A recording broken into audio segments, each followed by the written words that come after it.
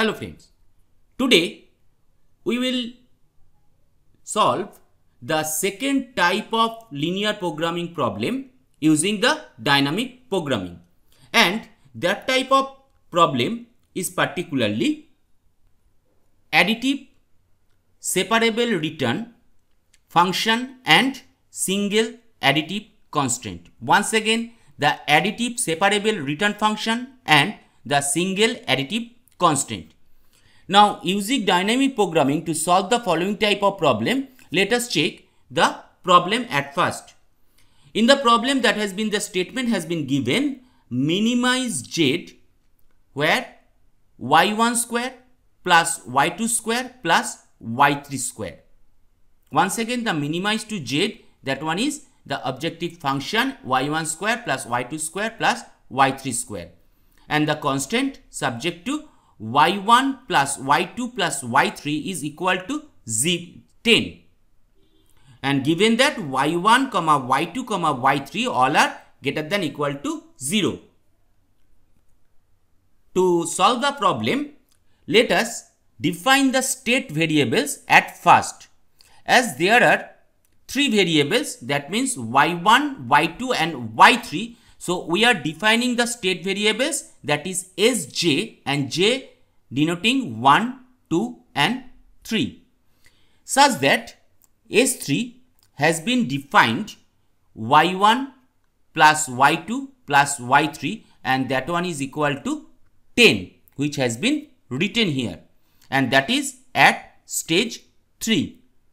Then S2 the state variable S2 that has been written as S3 minus y3 and that one is equal to y1 plus y2. That means y3 so that is S3 minus Y3 that one is equal to Y1 plus Y2 and that is at stage 2. Then the state variable S1 and that one is equal to S2 minus Y2 and finally that is our Yn and that is at stage 1.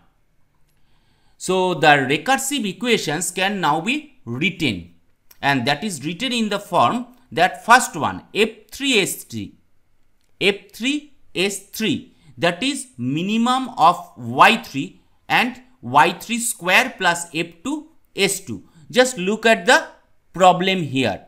That has been written in the format Y1 square plus Y2 square plus Y3 square and that is for minimization. So that's why it has been written in the way of the first recursive equation that is F3 S3 is equal to minimization of Y3 y3 square plus f2 s2.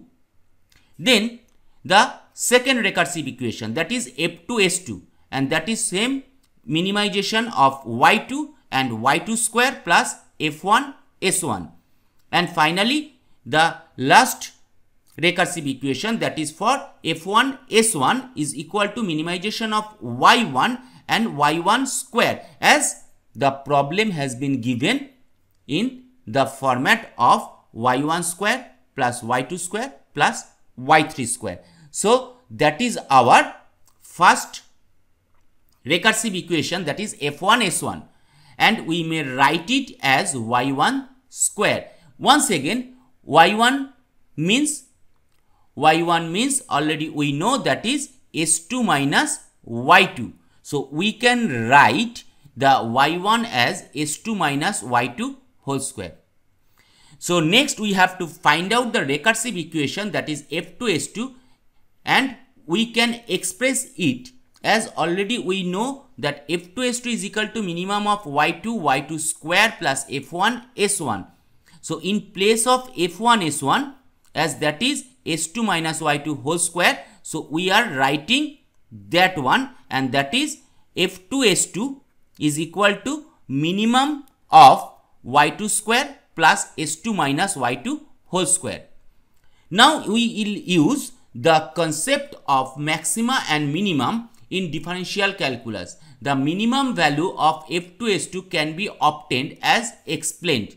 That means we have to differentiate the f2 s2 with respect to y2 and we are equating it to 0. Then we must get that means after differentiation that is y2 whole square with differentiation with respect to y2 that means that one is 2y2 minus s2 minus y2 whole square. So that one is becoming 2s2y2 now that is minus y2 so that one is minus.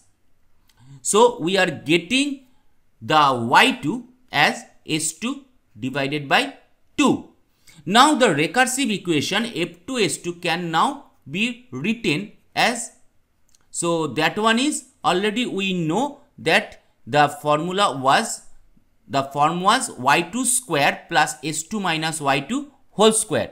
So that means y2 is equal to s2 by 2. So in place of y2 square we are writing that s2 by 2 whole square plus s2 minus s2 whole square. And finally we are getting the f2 s2 is equal to s2 by s2 whole square by 2. So we are now proceeding to the recursive function that one is f3 and s3. f3 s3. Now f3 s3 is equal to minimum of y3 and y3 square plus f2 s2. Already we have found just recently that f2 s2 is equal to s2 square by 2. So we are putting the value of f2 s2 here and we are getting that minimum of y3 is equal to y3 square plus s2 square by 2. Now once again S2 means that is S3 minus Y3. So we are putting in place of S2 that is S3 minus Y3 whole square by 2. Now once again we are differentiating the F3 S3 with respect to Y3 and equating to 0. We get the minimum value. Now when we are differentiating y3 whole square with respect to y3 we are getting 2y3 s3 minus y3 whole square equating to s3 minus y3 and minus y3 that is becoming minus and that is divided by 2. So we can omit the 2 here. That means cancelling the 2 here and finally getting 2y3 minus s3 minus y3 is equal to 0 or finally we are getting y3 is equal to s3 by 3. So according to the same we are we can write out now f3 s3 is equal to that is y3 whole square that means s3 by 3 whole square plus half of s3 minus in place of y3 that is s3 by 3 just putting the value for that particular function here so we are getting f3 s3 is equal to s3 by 3 whole square. But for minimum value of f3s3, we must have y1 plus y2 plus y3 is equal to 10 that has been given according to the constraint. So f3s3 can be written as s3 is equal to 10 because that one has been taken as s3 y1 plus y2 plus y3 is equal to 10 so we may write in place of s3 that is 10. So we are writing here that is 10 square by 3 and F3S3 is equal to now 100 by 3. So Y3 is equal to as 10 by 3. So Y2, Y2 means S2 by 2 and S2 means S3 by S3 minus Y3 divided by 2. So in place of S3 we are writing 10 and in, place of y3 we are writing 10 by 3. So finally we are getting the y3 as 10 by 3. So y3 is equal to 10 by 3, y2 is equal to 10 by 3. In the same way, we can find out the value of y1 that one is equal to s1 and s1 is equal to s2 minus y2.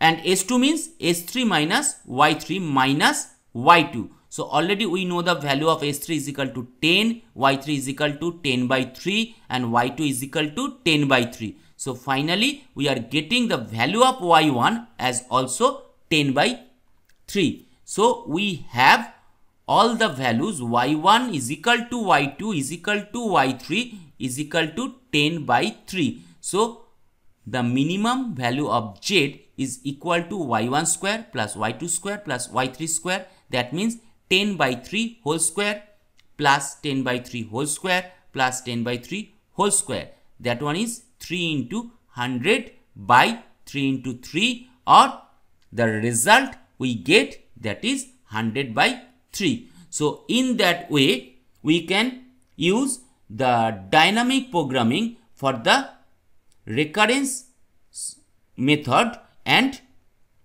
to solve the linear programming type of additive separable return function and single additive constraint.